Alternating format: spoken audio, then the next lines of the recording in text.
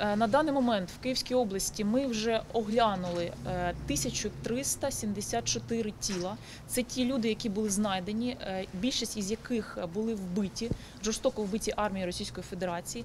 На даний час у нас залишається 200 неідентифікованих тіл і 283 особи залишаються зниклими безвісти.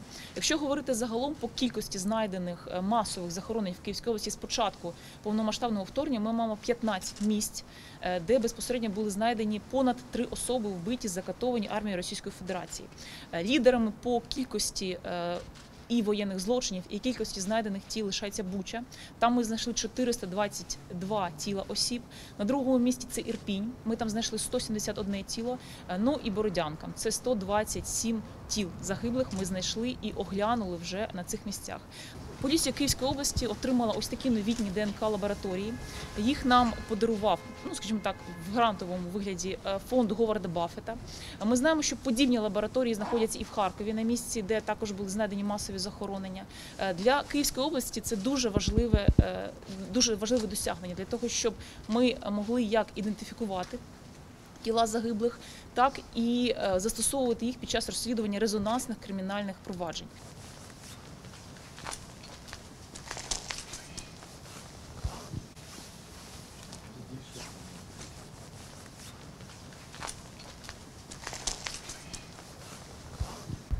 Основними е, перевагами даного приладу е, те, що е, він є доволі мобільним і може використовуватися як в лабораторних умовах, е, так і використовуватися е, з нашими пересувними криміналістичними лабораторіями, виїжджаючи е, на місця, де є потреби.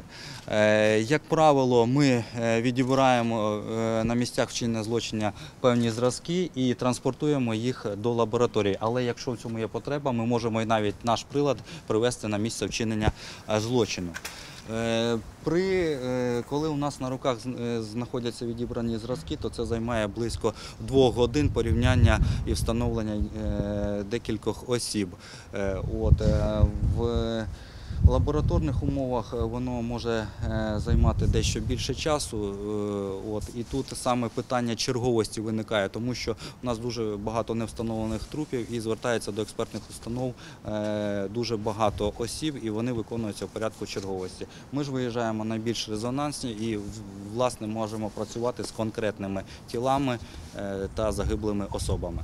Відібрані зразки ДНК, звичайно, поміщаються в при- прилад. При отриманні результатів ці результати надаються слідчим, і вони в процесуальних е, нормах, в процесуальному порядку використовують е, їх для е, того, щоб повідомити близьких, встановлено яких ДНК.